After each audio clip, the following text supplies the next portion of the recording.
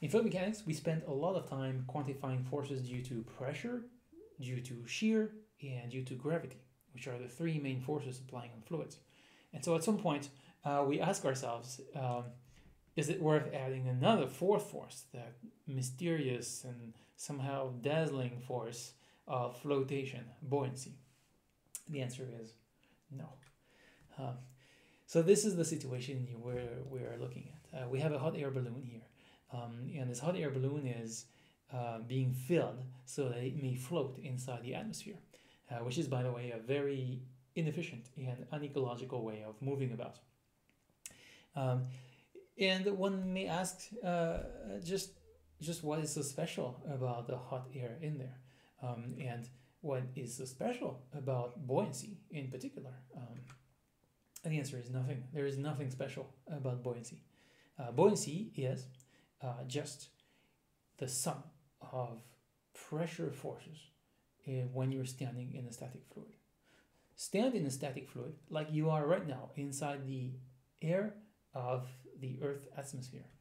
Um, this air presses on your body from all the sides. The net sum of all these forces is just called buoyancy. Um, buoyancy may or may not compensate the weight. In particular, in the air, uh, with a body that has approximately the density of water, um, the human body does not float. Um, in water, the human body floats approximately. Uh, in very dense fluid, uh, the, uh, like mercury, uh, human body would float on top very easily. Buoyancy has nothing to do with weight. Buoyancy is just the sum of pressure forces applying on an object. Um, so it's just a big word for force due to pressure in a static fluid. Let me try to show you this with perhaps a conceptual experiment. Let's uh, let's imagine that you have um, water, and this is a swimming pool, and inside the swimming pool, in your mind, you isolate a cube, a cube of water. And this cube is represented here, seen from the side. Uh, when you take this cube, uh, it has two forces applying on it. It has a finite volume, so it has a weight. Um, and this weight maybe let's say one kilogram of weight. What is preventing the cube from falling down inside the fluid of water? Uh, it is the reaction force from the surrounding. And this reaction force is made out of pressure distribution. A static fluid, like a standing swimming pool, is not able to shear.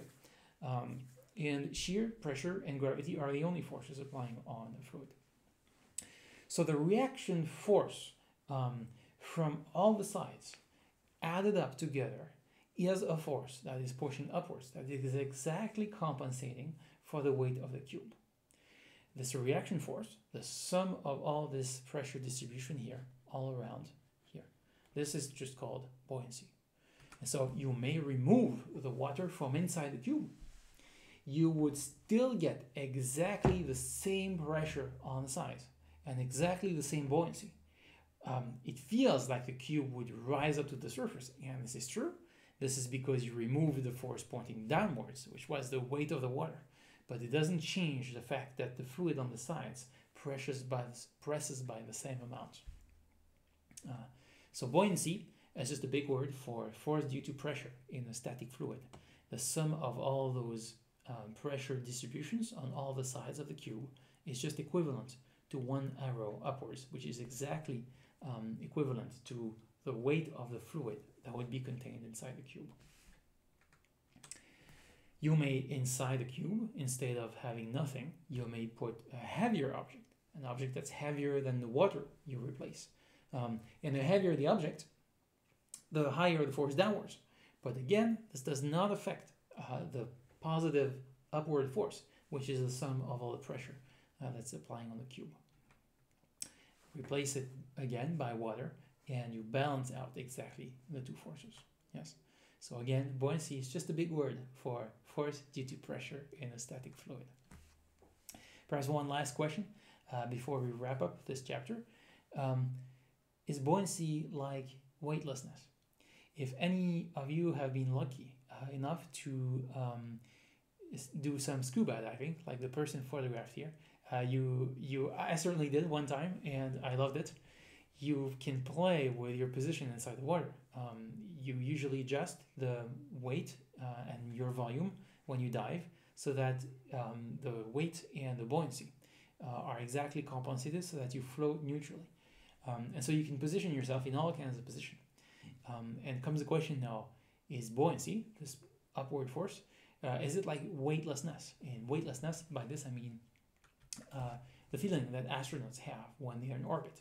They are in free fall, uh, which is just equivalent to having no weight. Uh, this is Sally Ride, the first American uh, astronaut uh, in space in 1984.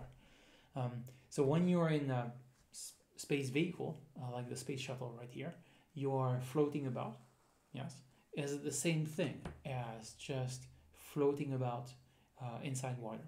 The answer is no, it's not the same thing. It's not the same feeling.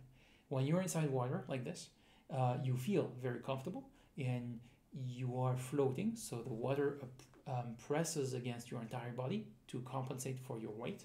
Uh, feels like being on a very comfortable mattress.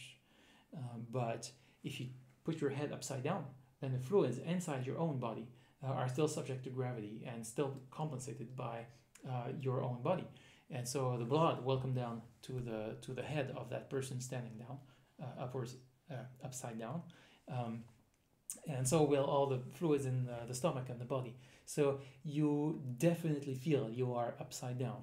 Uh, whereas when you're uh, floating in weightlessness, um, in orbit, uh, like this person is right here, uh, then there is no feeling of up and down anymore. This is completely gone. Uh, you are um, definitely experiencing something different. So here you are. Again, one last time. Uh, buoyancy is just a big word for force due to pressure in a static fluid. Do not be afraid of it and uh, jump into the water.